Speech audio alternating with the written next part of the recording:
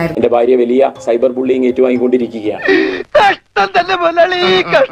സ്വാതന്ത്ര്യവും സ്ത്രീ എന്ന അഭിമാന അഭിമാനബോധവും അതിനുമപ്പുറം അവർക്ക് സമൂഹത്തിനോട് പറയാൻ പറ്റുന്ന കാര്യങ്ങൾ അവരുടെ അഭിപ്രായങ്ങളായി പങ്കുവെക്കുന്ന ഒരാളെ തേജോവധം ചെയ്യുകയും വ്യക്തിഹത്യ ചെയ്യുകയും ചെയ്യുന്നതിന്റെ മലീമസമായിട്ടുള്ള ഒരു രാഷ്ട്രീയവും നമ്മളിപ്പോ കണ്ടുകൊണ്ടിരിക്കുകയാണ്. അറിയാവുന്ന ആരെ കൊണ്ടെങ്കിലും താൻ രക്ഷ എഴുതി കെട്ടിച്ചോ? തനിക്കാണ്ട് വലിയ കുഴപ്പം തുടങ്ങുക. പണ്ട് പുതുപ്പള്ളിയിൽ ഒരു ബൈലക്ഷം വന്നിരുന്നല്ലോ ഓർക്കുന്നില്ലേ? ഏഹ് ആ സമയത്ത് ജയിക്കുമോൻ ഒരു പുതിയ പരിപാടി ആയിട്ട് ഇറക്കിയിരുന്നു ഇതേപോലത്തെ സഹതാ പഠിക്കാൻ വേണ്ടിട്ട്. സൈബർ അധിക്ഷേപത്തിൽ ജെയ്ക്സി തോമസിന്റെ ഭാര്യ ഗീതു പോലീസിൽ പരാതി നൽകി. അതിന്റെ അടിയിൽ സ്ത്രീകൾ ഉൾപ്പെടെ ഉള്ളവർ എനിക്കെതിരെ ഭയങ്കര മോശമായ രീതിക്കുള്ള കമന്റ് ആണ് ഇട്ടേക്കുന്നത്. അവളെ തെറി വിളിക്കുന്നു അവരിത് ചെയ്യുന്നു ഇത് ചെയ്യുന്നു അവൻ കുറെ പയറ്റ് നോക്കിയതാ. പയറ്റിട്ട് അവൻ നിലം തൊട്ടിട്ടില്ല. അവൻ കുറെ കാലം എയറിലായിരുന്നു അത് പറഞ്ഞിട്ട്. നിലം തൊട്ടില്ല.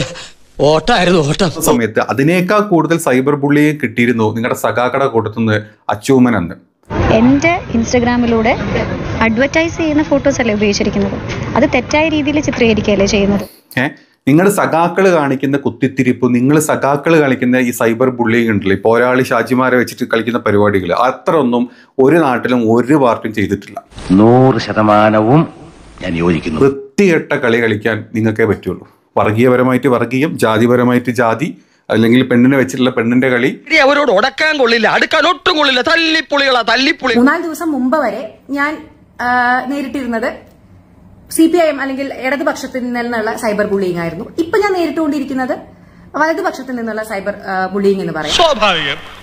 ഞാൻ പറഞ്ഞു വന്നത് ഇതൊക്കെ എനിക്ക് ശീലമാണ്. അപ്പൊ അമ്മാതിരി കമന്റ് കേട്ടോ കേട്ടോ. ഈ ഇങ്ങനെ വരുന്ന സ്നേഹം അല്ലെങ്കിൽ ഇങ്ങനെ വരുന്ന വെറുപ്പ് ഇതിനൊക്കെ അത്ര ആയുസേ ഉള്ളൂ. ഒന്നും കരഞ്ഞൂടെ നിനക്ക്. ആരും കാണാതെ.